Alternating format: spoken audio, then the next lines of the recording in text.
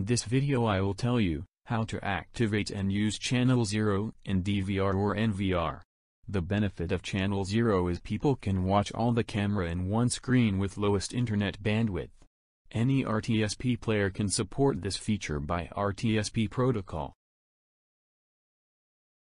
Channel Zero is a feature which we'll cover in this video. Approx all branded CCTV security systems provide this feature, which will help user to watch camera feeds to multiple device with RTSP protocol.